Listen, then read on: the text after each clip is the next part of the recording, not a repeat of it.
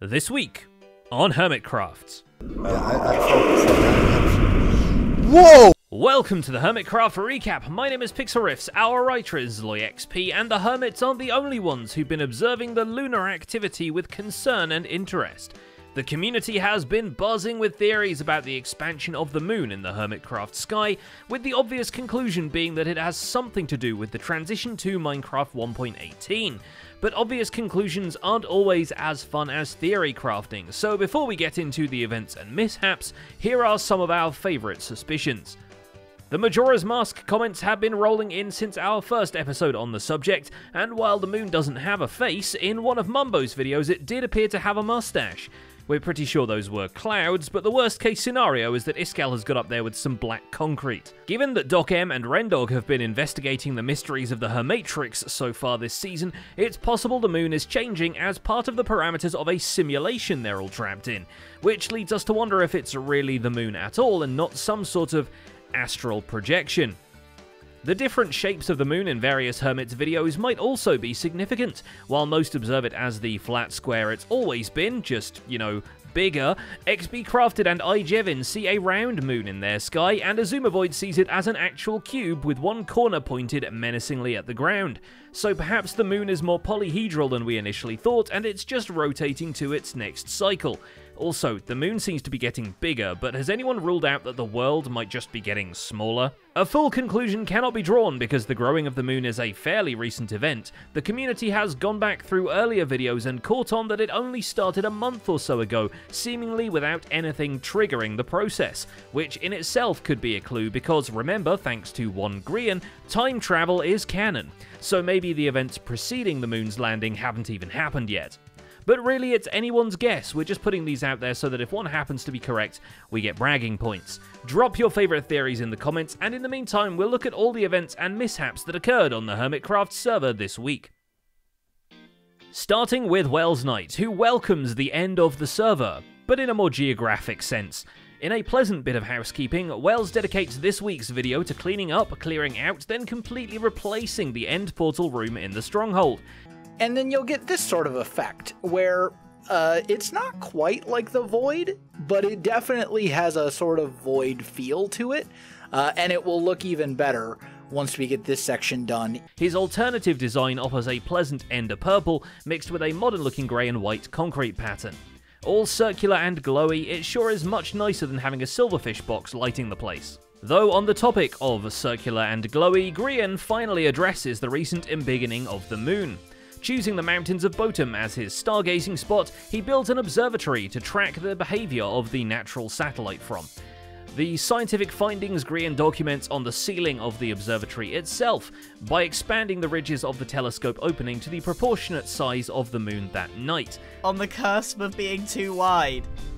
Oh.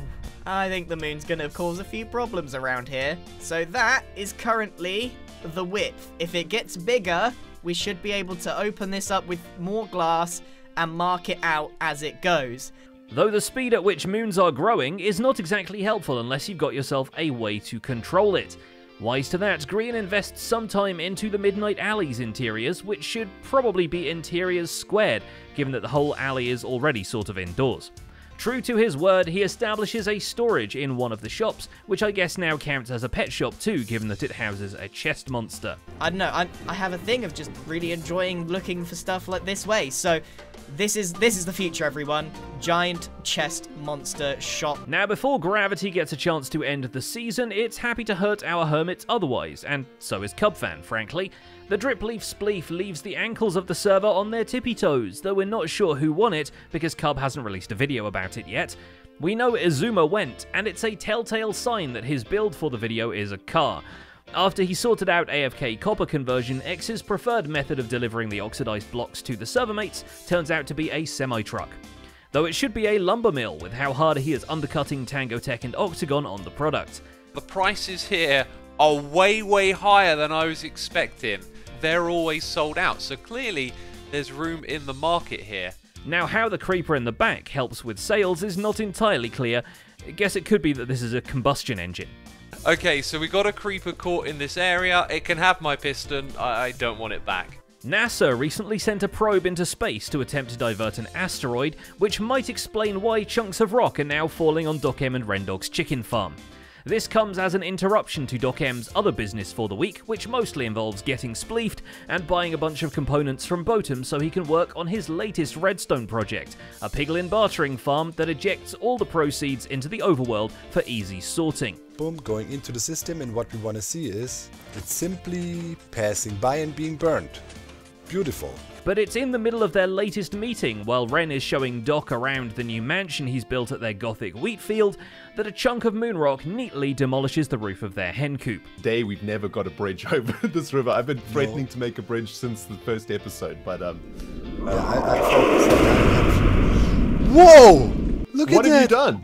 Nothing. Doc, what have, I, kn- I know you always hated this farm, but what have you done? Oh my goodness, look at the damage. The whole, the thing is destroyed. They place it in the center of the auditorium, at which point it starts making eerie Morse code sequences, and they decide to leave it alone before it tries to make friends with them. In Ren's case, this means going back to the terraforming project on Octagon Island, which is slowly transforming into a dead coral reef populated with amethyst crystals, sea pickles, and glow lichen, which might be the one thing which can fix Diorite's image problems. And I gotta say, my favorite feature of this landscape, definitely these calcite growths over here, right? That we've been making out of this block. I actually don't even know what that block is called.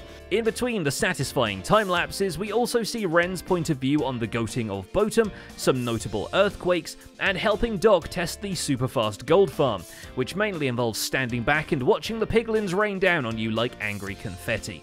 Okay, that is absolute insanity. I mean, this thing is gonna make more piglin bits than a server will ever need in like a hundred years. Well, that literally got my heart racing, Doc. So that's that's one way to wake up in the morning. Thanks. You're welcome. Impulse SV's mob farms are a little less intentional, but almost as productive.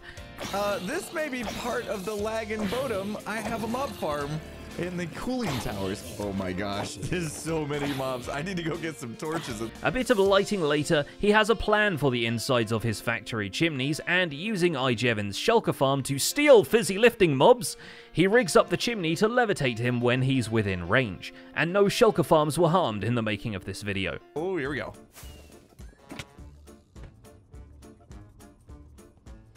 Okay, that went the wrong way. Shulkers aren't the only thing popping up in the factory, as Impulse spots something a little sus in his factory tower, and it turns out there are a few others amongst the Boatem crew's bases. I mean, it's yellow, so that's totally fitting. game before, so I don't really know what this thing is called.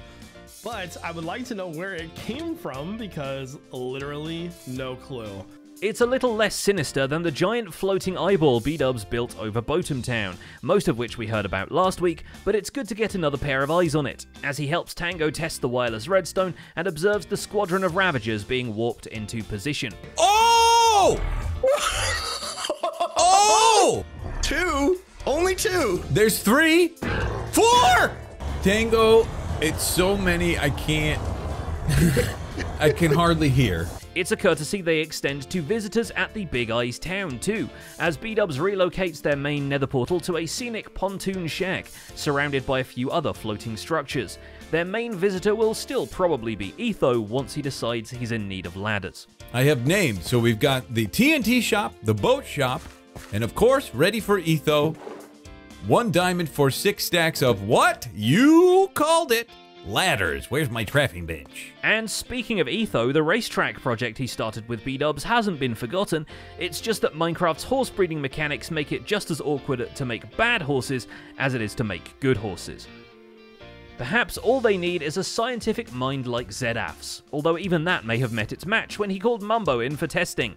After some solid verbal key smashing and two Englishmen having a crisis about English, He said words ending in ing. He got it wrong. Adjectives do not end in ing. Those are verbs. The worst part is I have a, I have an A level in English. All right, that's like that's like a qualification that you get after school, and I still forgot. Mumbo returns to Boatem to find there are goats moving in with him. So naturally, his first step is to drop them into a volcano. Oh my goodness, I forgot about that. Despite being a well documented pacifist, his incidents with animals continue, as he nearly crushes one of the company donkeys in the garage door. But having saved himself from that, spoiler alert, he gets awarded a matching hat from Scar. You gave me a wing. which explains why he was looking so aerodynamic at the Boatem meeting last week. And finally, there's Ijevin, and the man grows a mangrove. Okay, it's a willow, but who's counting? These things are really hard to build. This is probably one of the hardest things that I've ever built uh, in survival Minecraft. It it was it was really tough. The enormous tree houses the nether portal to his end of the swamp, leading a visitor near to the edge of the pit to the slime void. Or it could be liquid XP for all you know, since Jevin is now mass producing a whole lot of it through the bamboo and kelp farms combined into a few furnaces, perpetually smelting sushi roll wrappings. And really, what a fitting end for this script, because the videos for this week were quite the experience. kind of say, Jevin, why don't you use smokers or blast furnaces? It's actually kind of simple. I'm an old Minecraft soul, and I just literally forget that they exist. And that's about it for this week's recap. Our writer is ZloyXP, and my name is Pixlriffs. Captions on this video were provided by Liara. All of us have our own YouTube channels, and Zloy is back making videos for his one, so it would be a great help if you click the link in the end screen and watch the pre-final episode of his current survival series. It has a few solid jokes, lots of explosions, and a whole bunch of video editing, so all the stuff you like in this show, but with a less British accent. Don't forget to leave a like while you're still here, and subscribe so you won't miss future recaps. Thanks for watching, and we'll see you next week.